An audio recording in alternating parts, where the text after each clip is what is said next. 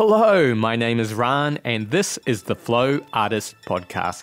Every episode, we interview inspiring movers, thinkers, and teachers about how they find their flow and much, much more. I hope you're having an absolutely wonderful day. It's been a busy week for me. I'm teaching more aerial yoga classes at our studio now, and it's quite different from teaching a mat yoga class, I'm finding. So it's definitely a new challenge for me, but I'm loving it so far. Speaking of challenges, I'm not sure that I've mentioned this on the podcast before, but after we returned from Japan, I have essentially left my day job and I'm teaching more yoga and I'm doing the podcast once a week, as you might have noticed, at least for now. I also plan to make more content, work on our website, maybe try to launch course functionality on our website. So I'm pretty excited about that, though I feel that I've got a lot of work cut out for myself, but it's going to be an interesting challenge. So we'll see how that goes. All right, so back to this current episode. Today's episode is a recorded conversation between myself, co host Joe Stewart, and Leanne Davis, the current president of Yoga Australia. This is another of our episodes in partnership with Yoga Australia. And in this interview, she shares some of her background on how she discovered yoga, how she studied both Ayurveda and Chinese medicine, her thoughts on the future of yoga in this country, and much, much more. Before we get on to the conversation, though, I just wanted to let you know about what we have going on at our studio, Garden of Yoga we have our upcoming adrenal healing workshop with Gina Macauley. Joe and I love this sequence so much that we do it nearly every day. It incorporates a gentle movement practice, pranayama, and meditation, and only takes around 40 minutes. Gina presented this workshop for us back in May, and we loved it so much we had to have her back. The last one sold out, so get in quick. It's on the 16th of November, and I'll leave a link in the show notes at podcast www.flowartist.com. Also, don't forget about our giveaway for two copies of the book Accessible Yoga by Jivana Heyman. We'll be announcing the winner during our next episode, which will be featuring a conversation with Tejal and Jesal from the Yoga is Dead podcast. Exciting for so many reasons. Thank you so much to Jivana Heyman and Shambhala Publications for providing us with this awesome prize. And I'll leave links on where you can get these books in Australia and how to enter the competition in our show notes. All right, that's more than enough from me. Let's get on to the conversation with Leanne Davis.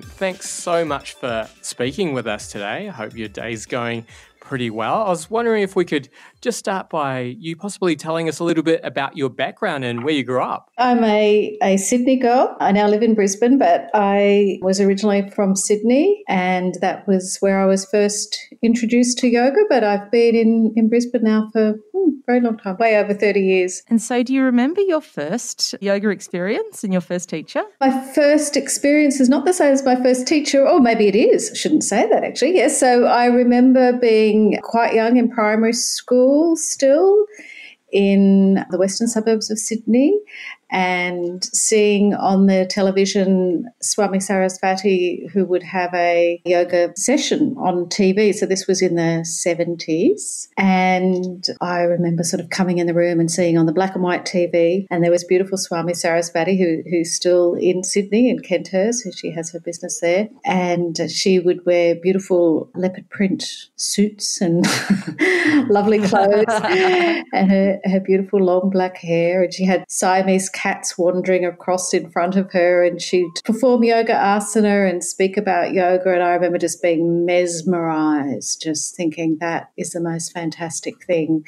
And, you know, thinking, I want to do that. You know, I want to be that when I grow up, or I want to know more about this. So it was a really, really distinctive memory that's always stayed with me. Just seeing, seeing her and what she was doing, and just something about it going, yeah, I, I want some of that. That was interesting. And I, I was I was young. I was probably around ten ish. And then Sorry, did you like practice along with her or did you just yeah. kind of look at the cats and yeah, oh, yeah, both. Yeah, both. I would have watched and yeah, tried out anything she was saying and listened. Yeah, yeah, for sure. And at the at the same time, I guess I think that's the first thing that I can remember being really exposed to yoga and it catching my attention. But then from that, there was a lot around in the 70s. The Beatles were doing meditation with, with Maharishi, and I think, you know, Roma Blair was around then and things. And so I'd see in the news agent and in my mum's women's magazines, they'd have things about yoga postures to do, or I'd see the Beatles in their beautiful paisley suits doing exotic things. And so, you know, it was it was around. It was around us at that time. There's something a bit kind of esoteric, a bit alternative, really, to other things that were going on. I was fortunate. I mean, it could have caught my interest, but there was there was around there. You know, it was there was exposure through my very early teens to yoga, and and in fact, at, at Campbelltown High School, we did yoga in our geography class when we studied India. Ah. Um, the teachers gave us uh, yoga classes as part of our study of Indian culture. And we also did yoga as a compulsory physical education session, like as a sport we were introduced to. And then we were also able to do yoga as an elective. So, well, pretty progressive school then. Yeah, it's just, it was different. You know, it was, uh, yoga was around in a kind of different way to how it is now. And, and, you know, when you think about it, I guess those school teachers who were teaching me were probably early 20s, you know, so they were kind of you know, young hippie school teachers out Maybe they were teachers, just, um... you know, so they were sort of getting into stuff that was going on as well. So yeah, I was just really fortunate. Hey, you know, just sort of yeah. the, the, timing and that that exposure at that particular time when I was just developing some of my own ideas and looking out into the world, and there was yoga. Got me. So was there a moment where it kind of got serious? Like you found a teacher that was a bit of a turning point in your life, or you just had a transcendent experience in class and you're like, oh, I want to get deeper into this? Yeah, I think always, all through my teenage years, I started finding books around on Eastern philosophy and just having that, that interest always, you know, from pretty early on. I got my mum to take me to a kind of an adult yoga class around that time too, probably in the first year or so of high school. And so I remember that. I remember going to a class like in an RSL hall or something with all the grown ups and there was me and it was kind of candle lit and doing really classic asana poses and, and loving it. And it never went away. It's something I've always done. I guess the first time I kind of formed a relationship with a teacher is with Jaya Clark, who's still teaching here in Brisbane. And that would have been in about probably 1986 or so, I'd say. And I was going to Jaya's classes and she was teaching in the Sivananda tradition. And Jaya was originally from England and she was going to go back to England for a time. And, you know, we're all like, oh, you can't go. What about our classes? You know, don't leave us. And she said, well, why don't you take over the classes to me? And, mm-hmm. and I kind of thought about that. And anyway, in the end, she's very kindly um, said, How about we go back to England via India? And she and her, her partner Ganesh would come with me to India to the Sivananda ashram and, and stay with me while I did a one month teacher training there. And then I'd come back to Australia and take over the classes, and oh, they would wow. go on to they England. Must have, they must have really believed in you as a teacher to um, reroute their trip home via India so they could support you.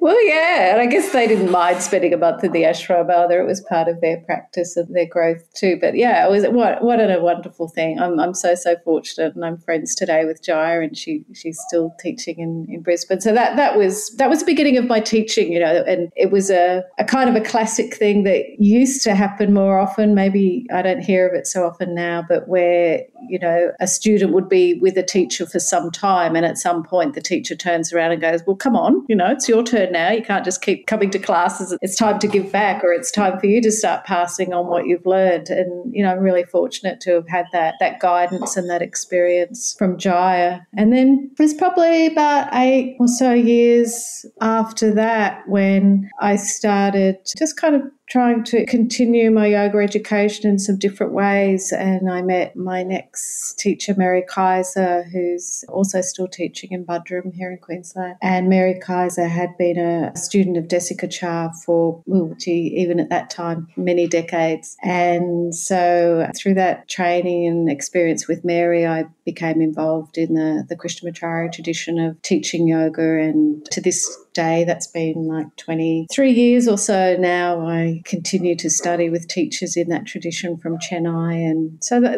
they were the, probably my two most influential teachers who really directed my path in yoga, my personal practice and my teaching. And so we see that you uh, also studied at the Vedanta Academy. Would you like to tell us what that was like? Well, that is the Sivananda Centre. So it was in Trivandrum. Oh. Yeah. And so they call it, I think it still is to this day, but certainly then, and on my certificate, it's the Sivananda Yoga and Vedanta Forest Academy.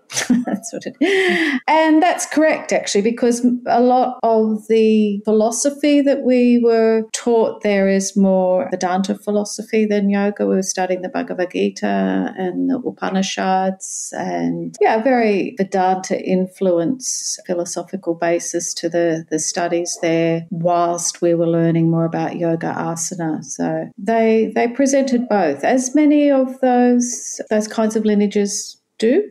With the, the swamis, very often have experience in Vedanta and they're teaching Vedanta philosophy extensively alongside yoga. I see that you also have studied Ayurveda and Chinese medicine, and mm. I'd love to find out about both of those studies individually. But I'm also wondering if having through your study of both, and they both see the body in slightly different ways, were there any kind of differences between those two different understandings of our physiology that was a little bit of a struggle to reconcile, or was it all just fitting together in layers? Yeah, I don't I don't find them conflicting, certainly not the understanding of them. The, the practice and application is a little bit different. And that came about so throughout this whole journey, really, from the time I left school, or definitely from by the time I was 19, I've always studied complementary medicines alongside of yoga. So I think I've been consistently enrolled in some sort of natural therapies or yoga training for about 30 years. and I think There's I always another course. So you're like, oh, yeah, get to next. Absolutely. Yeah. You know, the more you know, the more you know you don't know, the more, the more yeah. to understand, the more questions. I think I had a year off there a couple of years back, but I'm back. I'm back again studying Vedic chanting and and Sanskrit with Debbie Badger down in Melbourne. So still, well, you know, I can honestly say I've always been a student throughout this whole thing. So anyway, back to your question. Um, so early on, yeah, no, there's lots of layers to that question, you know. So I started out. I'd had the yoga thing going, and then I didn't ever really think of that as a career path or anything. It wasn't, it was my personal practice and something I passed on through some teaching opportunities. I mean, I was traveling quite a lot in Asia and coming back to Australia and picking up bits of, you know, sort of massage courses and Western herbalism and things. And, but I, my, my underlining interest has always been Eastern philosophy and particularly Indian philosophy. But I've always been looking for ways to make it practical, you know, what what do you do with this understanding is always my interest. And that led me first to studying acupuncture because that was what was available around that time. So that was through the 80s, and I certainly wasn't aware of any Ayurvedic training in Australia. There, there may well have been, but it hadn't crossed my path. So even though my interest was in Eastern philosophical and health systems, I could get some kind of solid qualification in, in acupuncture. So that led me to Chinese medicine. And that sat well. Again, you know, many of the you know the holistic understanding of life and that you know we're a microcosm that's interacting with the macrocosm and it's about keeping that balance in order. So those themes are consistent through all eastern medicine. So i did graduate from acupuncture and was happily practicing acupuncture or still do practice acupuncture and teach mm-hmm. yoga and but then the opportunities came up then. So in the 90s, there were a couple of Ayurvedic lifestyle consultant courses that came into Australia. And I was actually approached by people bringing those courses to Australia. Firstly, one that came to, to Brisbane, the organisers contacted the yoga community or the yoga teaching community because they figured we'd be the people that would be interested in some Ayurveda education. So I had that opportunity. And kind of simultaneously, one of our suppliers suppliers for nutritional medicine in Australia launched an Ayurvedic range of products. And so they also brought an Ayurvedic doctor to Australia to take us through a few years of lifestyle consultancy courses, which included selling their products, of course.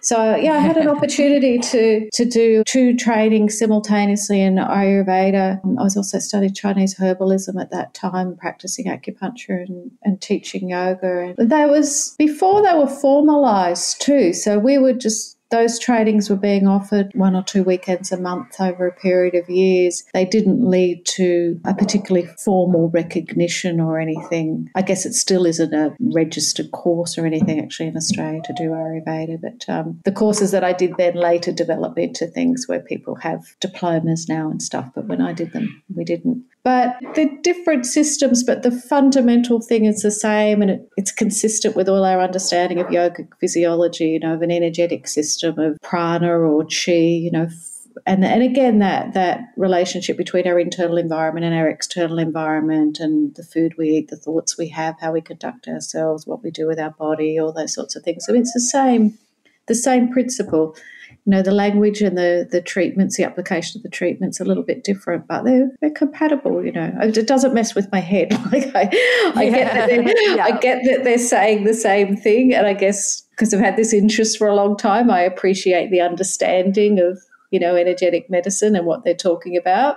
And I think there's lots of different ways to present those models, really. When someone comes to you, do you have people who are like, I'm here to see you for acupuncture, or someone's mm. like, I'm mm. here to kind of get a private yoga practice, mm. or do people just show up and say, I've been getting these terrible headaches, can mm. you help me? Like, do yeah. you find you practice them separately or you weave them together in your practice?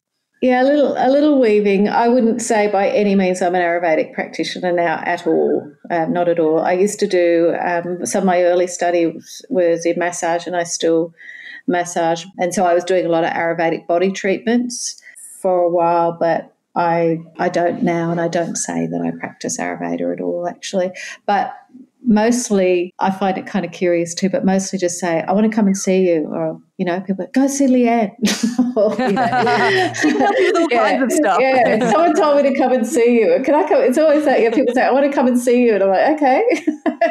and and yeah, I like to. Yeah, they people tell you about what's going on, and usually it becomes very evident what what they need in terms of would you like to take some supplements? This is a dietary thing. You know, would you like a meditation? Would you like to learn a chart? Would you, you know, or we get on the table and we do body work or acupuncture or lots of things. Yeah. So lots of tools in your toolbox. yeah. Yeah, there is. So it's more unusual that people ask to see me for a particular type of treatment, actually, which is interesting, isn't it? It's like people don't, I don't care how you fix it, just help me fix this thing. which is good. So, th- this might be a little bit of a, a, change in topic, but how did you become involved in Yoga Australia? Yeah, watch out. People just grab you off the street. it happened to me, and now I do it to people. Someone said to me the other day, like, I've seen that light in people's eyes before when you're being sized up for a volunteer job. But.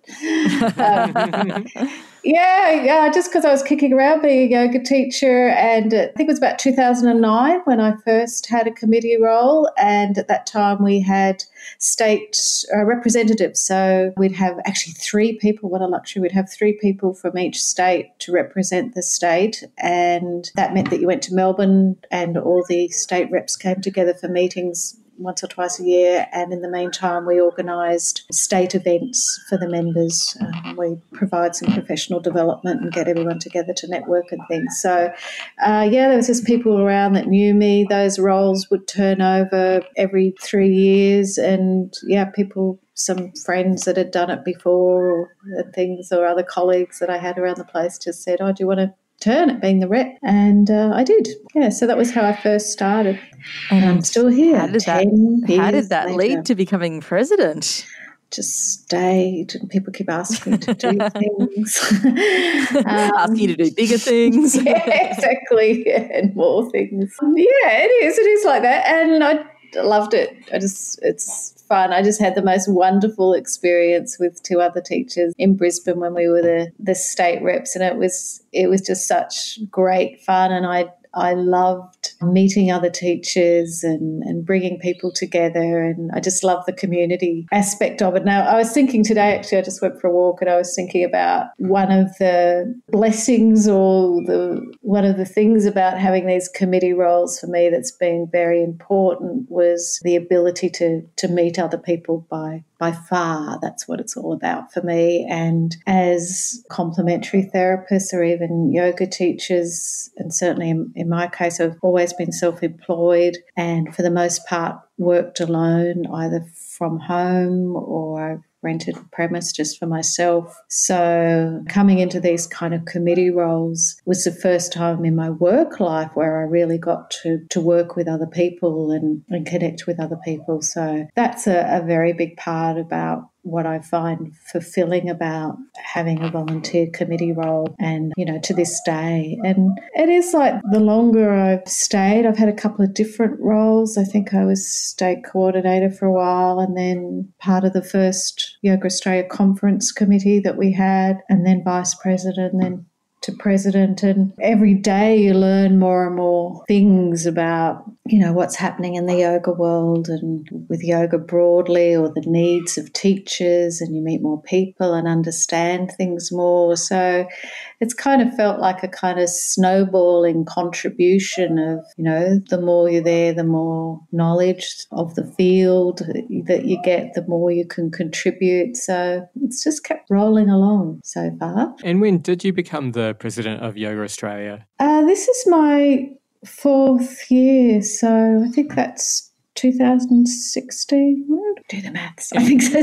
16, 17, 18. We historically have had a three year term, which just, you know, they're volunteer roles, so you can leave any time, but, you know, we try to make it that if you take a role on that you you'll stay for a while. And usually then we change over. But in my case, I've stayed this extra year because the association migrated to a company. So we had four executives, committee members of the association, and we all stayed on for another year in our roles as we migrated to company just to see, because now we, we formed a board and so the organisations run a little bit differently. So we didn't think we didn't change the committee members there for a while just to keep the stability what factored into your decision to take on the role of president? Yeah, it just kind of happens.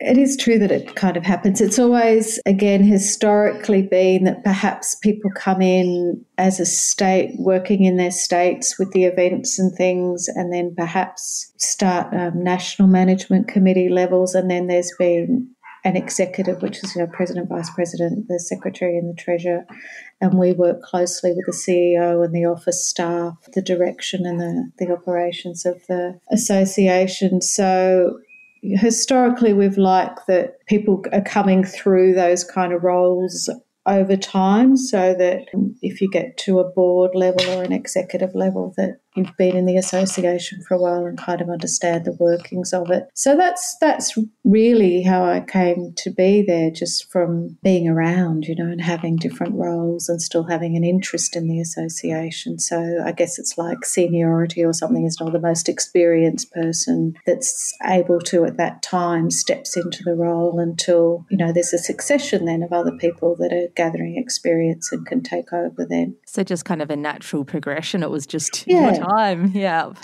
Yeah, yeah. It's worked like that so far with the yeah just the the history of the association it's carried on that way so far so it's never been a fight over the role and oh no not that i'm aware of not that i'm aware no i don't think so well it's still um, actually an elected position anyway so you're nominated so the position is elected by the members Hello, Ran popping in just to let you know about our Patreon page. Patreon is just a way that you can help support the podcast for as little as $1 a month. Higher tiers get access to extra special content as well as listing on our website and a shout out on the podcast. And we also use these funds to transcribe our favourite episodes so they're accessible to the hearing impaired or anyone who would prefer to read our interviews. Speaking of which, we've just posted the transcription of our episode with Janet Lowndes. You can check that out on our website at podcast.flowartist.com. If you enjoy our conversations with these amazing teachers, we would absolutely love your support. Just go to patreon.com slash flowartistpodcast. If you'd like to support in other ways, it is easy. Just share our episodes on social media or you can rate, review, or subscribe to us in your favorite podcast app. It really does help. All right, that's more than enough from me. Let's get back to our conversation with Leanne Davis.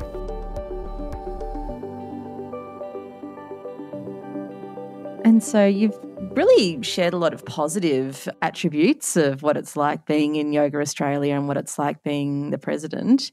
Have there been any challenges? Lots of challenges. I can't say there's anything I don't like. Um, challenges kind of probably for me trying trying to not to be doing it all the time. Yeah. um, you know, there's uh, a I'm very inspired and enthusiastic about the association and love working with the team of people that I do and the staff and we get you know lots of feedback from the members and things and you can always see you know ways that we could improve things or help someone out or you know attend to things. And I, I always feel like you know I can can never give enough really or that we there's always more more to do. So the challenge really is um, probably a, a, time limitation for myself. It, it is a volunteer role, so you know we need to take care of our businesses and families and other commitments as well. And just kind of moderate our enthusiasm sometimes, or that really would be the most challenging thing for me. Certainly challenges in terms of using technology in a way that I hadn't before and potentially wouldn't in my own business and I've had to learn things. And yeah, generally other you know, organizational things. A lot of the the women that I work with come from business backgrounds and educational backgrounds, so they bring with them so many skills that have I haven't been exposed to in my work as a complementary therapist and things. So that's been a challenge for me in terms of not not in a um, not in a negative way, you know, in a growth challenge. You know, yeah, going, yeah. Oh, you know, I've just loved working with people from really different different career backgrounds or different educational backgrounds. And and so when decisions are, are, to be made you know we come together with all these different perspectives and things. And I really like that. And I just I just I guess say it's a challenge because a lot of that type of thinking has been new for me over the years. Mm-hmm. and it's just so wonderful to be exposed to these different sorts of things and learn. What do you feel have been your greatest successes since you've been in this role we could kind of kind of separate that out. So I could say things that Yoga Australia has been successful in since I've been in this role because they're they're not really you know they're not my successes. They're things that Yoga Australia truly operates as a team primarily. Teams of volunteers supported by our really strong support of our CEO and our office staff. So anything that happens is a is a very you know global success from the whole organisation. But particular things that I was very interested in and kind of needed to happen when I, I came into the organisation was a broader reach nationally. At, at the particular time, that I came in, we had uh, a few states operating really strongly, and then probably about the other four not so strong.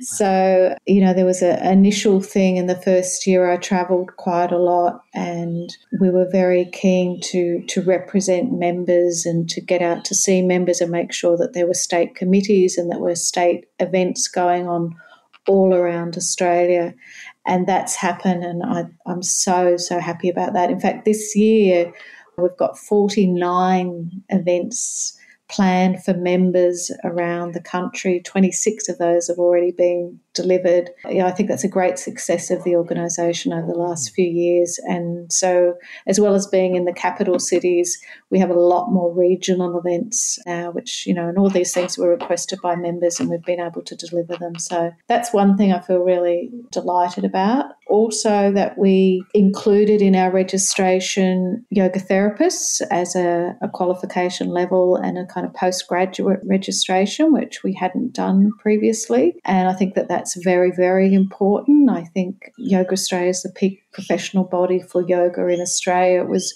crucial that anyone working in a, in a yoga profession was represented by our association. So I think that's something very, very important that happened a few years back now, 2016. So that. And the other thing that we've done is really made our mark in the world, actually, that we've formed international partnerships and I've been able to attend events. I, I also have a committee role with the International Association of Yoga Therapy in the USA and so that links Yoga Australia into a, a, really strong international profile. I've also joined something called the Global Consortium of Yoga Therapy, where various registering bodies for yoga therapy from all around the world meet and support each other. We moved into um, New Zealand with Yoga New Zealand. I'm about to ten- attend the Asian Yoga Therapy Conference in, in Bali to represent Yoga Australia. We talk quite a bit to Yoga Alliance. So we've sort of made our mark and formed really fantastic partnerships and supportive relationships with other organisations around the world and uh, are certainly recognised internationally for, for the work we do and, and actually the leaders in a lot of the work that we do in our, in our educational standards and and particularly again this delivery of events and kind of face-to-face contact with our members that's quite unique actually to yoga australia. Very proud of those things. I'm actually curious i'm originally from new zealand so i'm wondering what their relationship with Yoga New Zealand is like? What does that involve? That came about, I think I was vice president, so it must be about four, five, five years ago now. Yoga Australia was approached by some training providers, yoga training providers in New Zealand, to see if we could help out in some way, either bringing the New Zealand teachers under Yoga Australia or helping them establish a separate organisations because there wasn't a kind of uh, independent yoga body in New Zealand looking after standards or registration. And some of the courses wanted to have some sort of independent mark that their courses were of a particular standard because they have a very a big variety of training courses there from you know one or two days through to three years and and for the general public it was difficult to see what was the difference unless there's an independent body that's kind of registering courses. So it was a request from the New Zealand yoga community that we become involved. So over a couple of years we we set up Yoga New Zealand so that they had like a, a branch of Yoga Australia. And again I was going over there quite frequently and, and working with New Zealand teachers and helping them form standards and registration and things. And just this year, the administration for Yoga New Zealand has been taken over by Exercise New Zealand, which is a great thing. So it means now all the standards and things are the same, the guidelines are the same as Yoga Australia, but it's been administrated within New Zealand now by Exercise New Zealand. And they're also developing more specific things about Yoga New Zealand that apply to New Zealand that we didn't have in Australia, you know, like the integration of their Indigenous culture and different things there that are specific to New Zealand. So we spoke to Jace Dupatu on an earlier episode. Yeah, he's doing amazing things. Yeah, yeah. Oh, look, it's such a fantastic yoga community over there. I absolutely love it. Yeah, Jace is doing great work and he's been really supportive of, of Yoga New Zealand and involved. They had their first yoga professional conference last November, and there'll be another one, the Aurora conference again this this November. And yeah, they're doing great work, really wonderful community, and really, it's just really great to see them defining their yoga profession there on their own terms actually you know with their own specific cultural needs and and you know particular needs of the the population that they have there and things so they're doing really well. Oh, i'm glad you talked to jace. That's great. He's, he's amazing. Yeah we love we love yeah. jace. So yeah yeah who doesn't? That brings me on to another question. What do you think yoga australia could be doing to help foster more diversity and inclusion in the yoga teaching landscape over here I think we are. it's absolutely very, very, very important. Um, you know, top of our thinking in the in the, the culture of yoga. We've made a lot of effort over the last few years to be more inclusive in our communication, and you know, even the the images that we use, uh, the words that we use, and promoting programs of inclusivity we have been working for the last year or so on a reconciliation action plan, and we have some road shows and events happening this year promoting Indigenous spirituality within yoga. So I, I feel like we're doing very well with that. I'm also very involved in generally watching what's happening throughout the world, including the yoga community, on keeping up to date with our ethics and looking at misconduct that's occurred in the past and doing everything we can to ensure we have really healthy yoga communities going forward that are transparent and inclusive and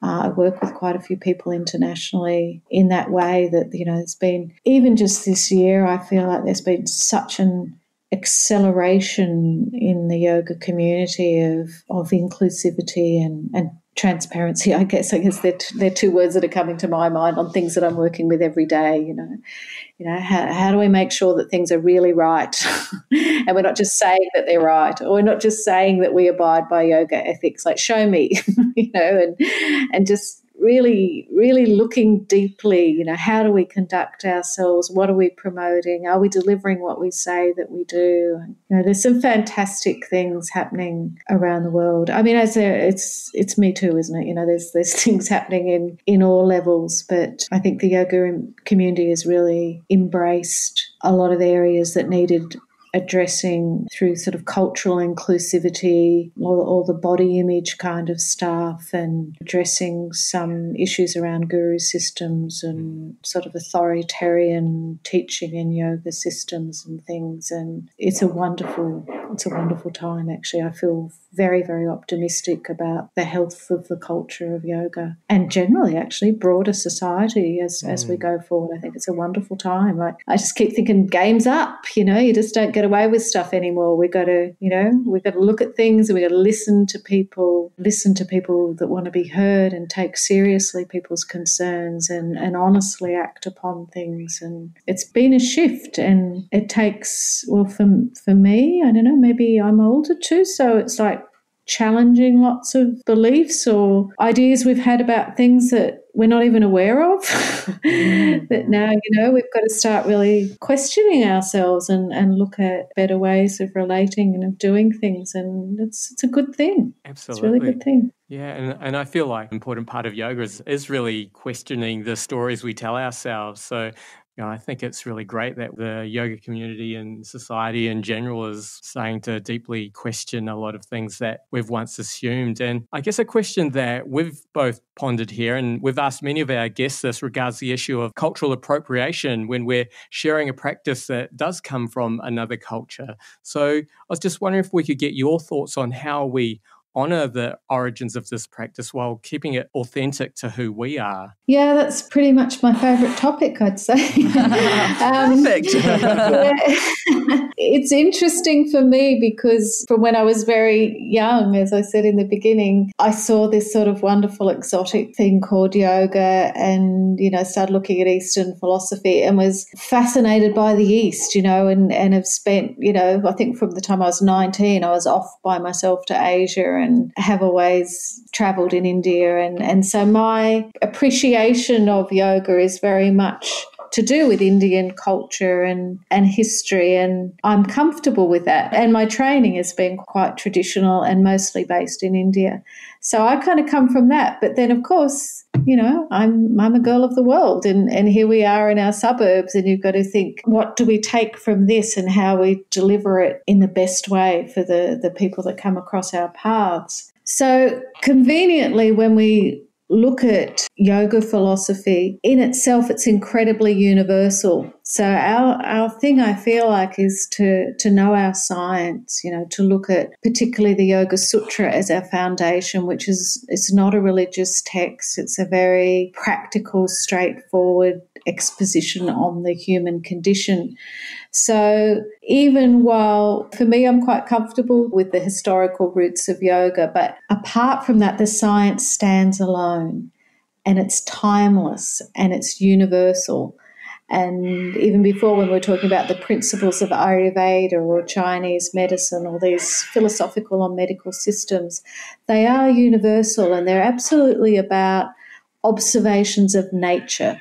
So they, they very, very intelligently and are very sophisticated about documenting how nature works, how how the human mind works, how the human body works, how how we as humans interact with the other cycles of nature and the patterns that either give us balance or lead us, you know, to ill health or whatever, and how do we keep that? So the principles themselves, I think, are really timeless and really, really universal. And if we understand them really well, I think if we have really solid yoga education, then we can see that, and it actually doesn't necessarily matter where those things originated from, unless you want it to matter, but we could take those principles and apply them universally. So for me, some of this comes to education about people really really knowing their science, that we have really good yoga education about, you know, understanding the philosophical systems and the principles and the foundation that yoga is built on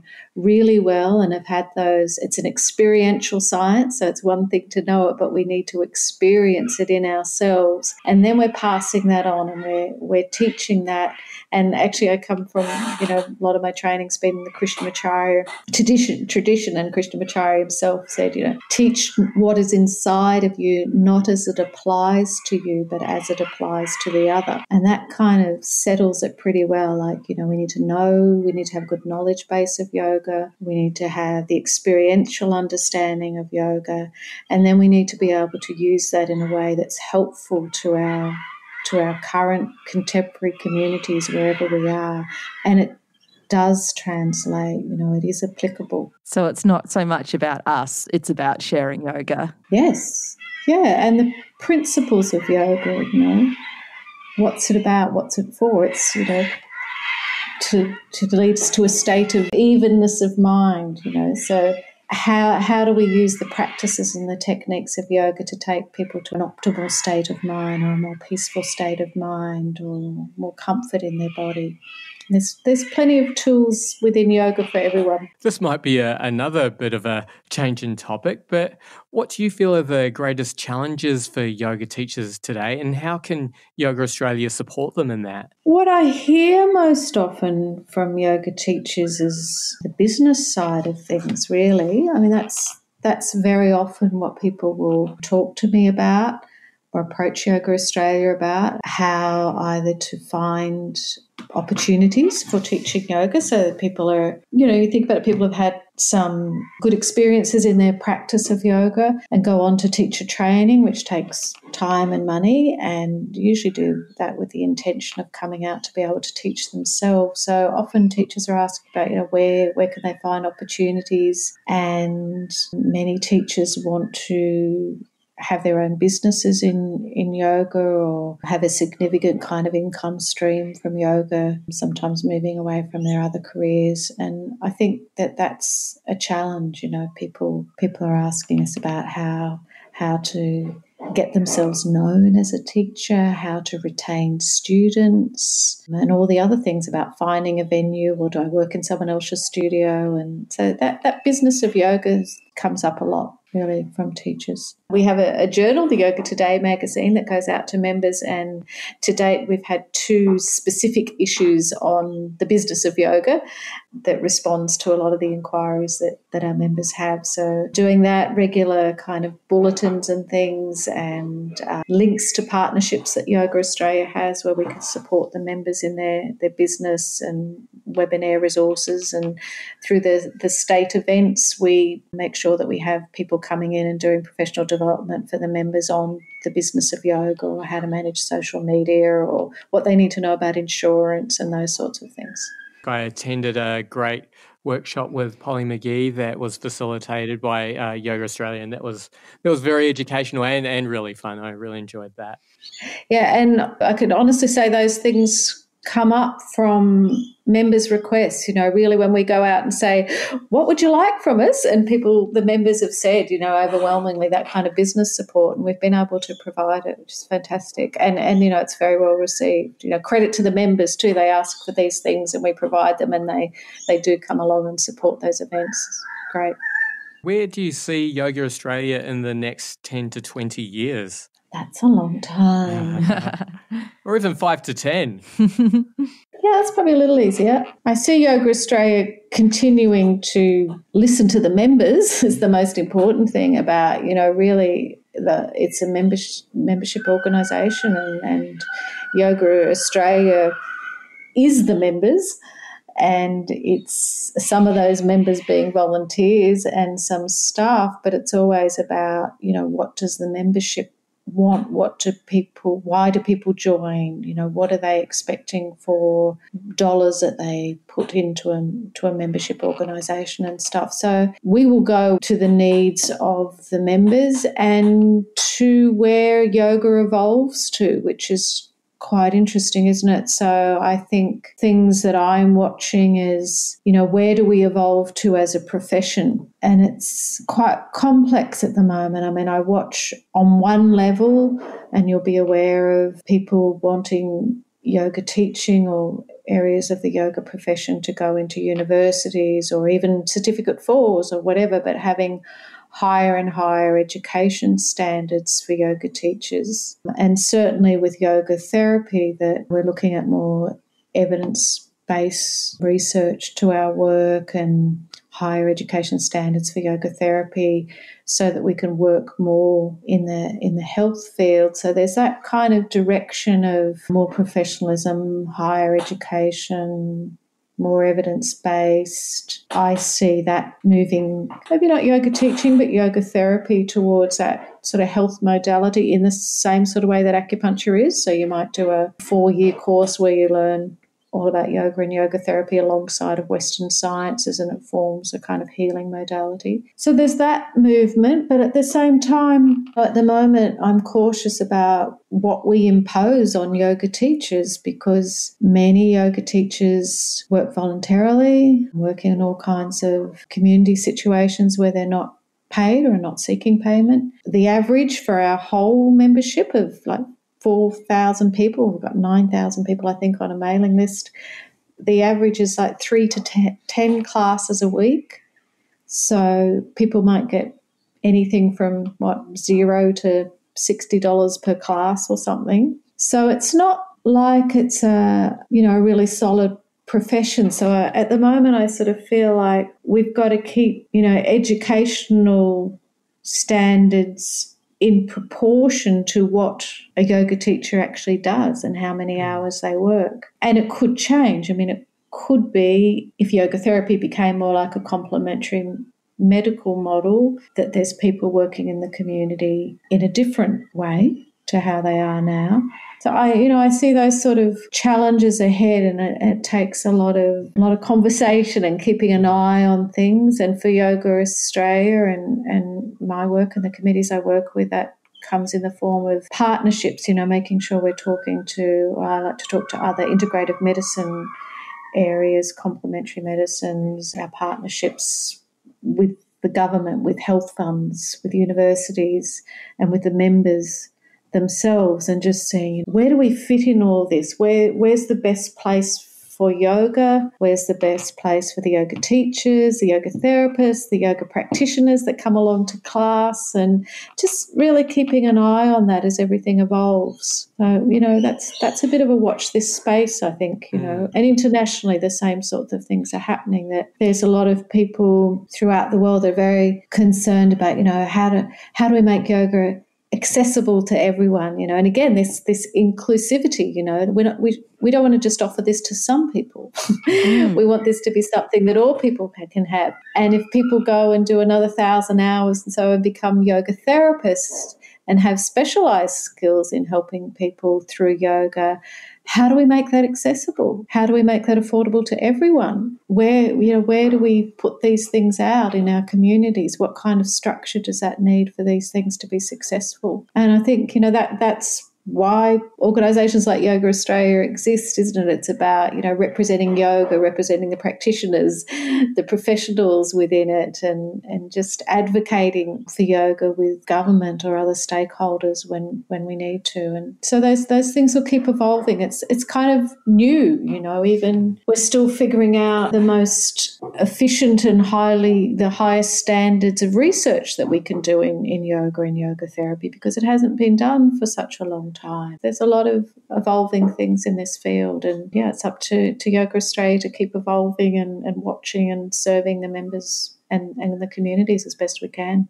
One more question for you. If you could distill everything you've learnt in your life and in your career as a yoga teacher and as president of Yoga Australia, if you could distill everything you learn and everything you teach down to one core essence, what do you think that one thing would be? My goodness. oh, what would it be? Let me think. Hang on. Take all the time you need. I think it is something about you know the the essence of yoga, which is evenness of mind and it almost sounds a bit cliche, really, because it's I, I spent a lot of time teaching the Yoga Sutras, which is about you know yoga to reduce the fluctuations of the mind, you know, and then and then we see our, our spiritual capacity or an unchanging capacity. Otherwise, we're conforming to the fluctuating, you know, nature of our mind and nature itself. And I, I think the more I teach these things, the more I practice, the more I see that that's that's something that you know to just hold that steady space. So I think in my practice and study of yoga and, and what I continue to learn, having the great fortune of teaching yoga and particularly yoga philosophy, it keeps, you know, always bringing me back to um, this sense of, you know, yoga talks about having an equal mind or, you know, the yogi can remain even minded with the understanding that, that nature will always change, you know, at, at, any moment things fluctuate, but that we have a capacity to just remain equal. And I think I, I kind of appreciate that, that more and more. It's kind of, I guess, like a bit of a witnessing kind of idea or, or just that knowing that we do have a capacity to to navigate our life quite peacefully and to be to be kind to ourselves and compassionate to people around us if we you know we understand that what yoga says that we're part of nature. Things are always changing things are always evolving and that's very natural and these things go on. But but we we do have a capacity of of equalness being the observer or recognizing that we can transcend the changing aspects of our, our life to a point to live harmoniously with ourselves and others as best we can. It's not easy. Mm-hmm. you know, life's life is quite challenging, but I, I have a lot of confidence in in that philosophy and it probably does get easier actually with practice. Beautiful. Well, um, thank you so, so much for speaking with us. I think we've got a lot of stuff to think about there. So, yeah, it's been a wonderful conversation, and thank you so much for your time and your wisdom. Yeah, great to talk to you, Leanne. Thank you. Uh, you're very, very welcome. Thank you for your time. Thank you for the invitation. And I hope you enjoyed our conversation with Leanne Davis. I definitely did. And if you want to hear more from Leanne, she'll be speaking at Yoga Australia's AGM. This is happening on Sunday, the 10th of November, and is at 11am if you're on the east coast of Australia. The AGM's happening online via Zoom, so I'll leave a link to that in the show notes on our website at podcast.flowartist.com. All right, for our next conversation, we'll be speaking with Tejal and Jesal from the Yoga is Dead podcast. This podcast has taken the yoga world by storm, so I am absolutely ecstatic that we got to speak with them. There is a great and important conversation about cultural appropriation, their goals for the podcast, and how the podcast wildly exceeded their expectations. Our theme song is Baby Robots by GoSoul and is used with permission. Get his music from gosoul.bandcamp.com. Joe and I would like to honour the elders of these wisdom traditions that have been passed down to us over thousands of years, and we would also like to honour the traditional custodians of the land on which this podcast was recorded, the Wurundjeri people of the Kulin Nation. Thank you so much for listening. Aroha nui. Big, big love.